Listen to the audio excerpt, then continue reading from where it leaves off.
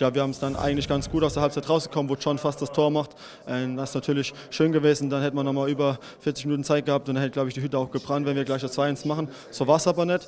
Ähm, trotzdem haben wir ruhig weitergespielt, haben viele Flanken gemacht, vielleicht nicht immer alle gut reingekommen. Ähm, daran müssen wir arbeiten, dass die noch gefährlicher werden, dass wir da uns da vorne reinhauen, ähm, dass die Jungs Tore machen wollen unbedingt. Ähm, das wird wichtig sein. Ähm, das ist auch für die Jungs wichtig, wenn die Tore machen, dann gibt es auch Selbstvertrauen vorne und daran müssen wir arbeiten. Ja, die Hamburger waren äh, in der ersten Halbzeit total effizient, haben zweimal aufs Tor geschossen, äh, zwei Tore erzielt.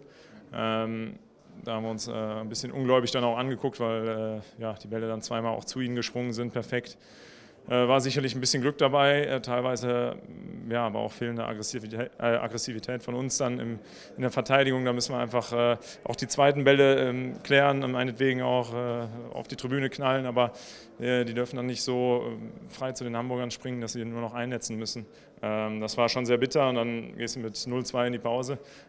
muss natürlich dann umstellen, alles nach vorne werfen. Haben wir getan. die rote Karte für Mehrgeben hat uns natürlich auch irgendwo in die Karten gespielt.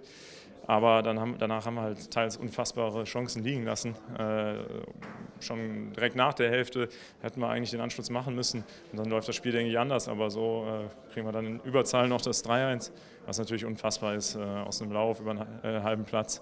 Ähm, ja, das Glück war bei den Hamburgern heute äh, und teilweise ein bisschen Unvermögen von uns. Peter 3-1 verloren hier gegen HSV, ein sehr unglückliches Spiel. Äh, woran hat es gelegen? Ähm, einfache Fehler ähm, also, einfache Fehler, weiß ich nicht, ist er nicht, nicht so, so hellwach äh, im, in, in, der Lösung von, äh, von zweiten Bällen nach Standardsituationen und äh, die Hamburger haben das richtig gut ausgenutzt ähm, und haben, äh, haben unsere Fehler halt bestraft. Ne? Das, ist, das, passiert manchmal. Dann habe ich den Eindruck, dass, dass wir über 90 Minuten versucht haben, das in, in unsere Richtung zu lenken. Also vom Aufwand her, von, von dem kann man überhaupt nichts sagen.